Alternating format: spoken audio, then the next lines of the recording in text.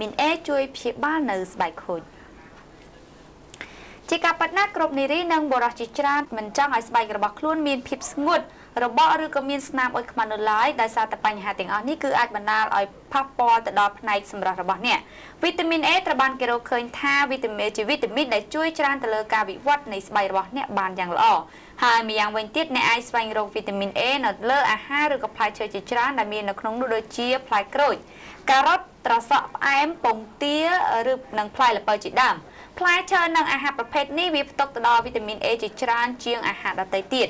ម្យ៉ាងវិញទៀតប្រសិនបើអ្នកចង់ឲ្យស្បែករបស់អ្នកស្រស់ស្អាតនិងបាត់បង់នូវភាពជ្រីជ្រួញកាន់តែមានប្រសិទ្ធភាពការប្រើប្រាស់ផលិតផលជំនួយរួមផ្សំជាមួយនឹងការទទួលទានអាហារខាងលើនេះគឺអាចឲ្យអ្នកទទួលបានលទ្ធផលយ៉ាងឆាប់រហ័ស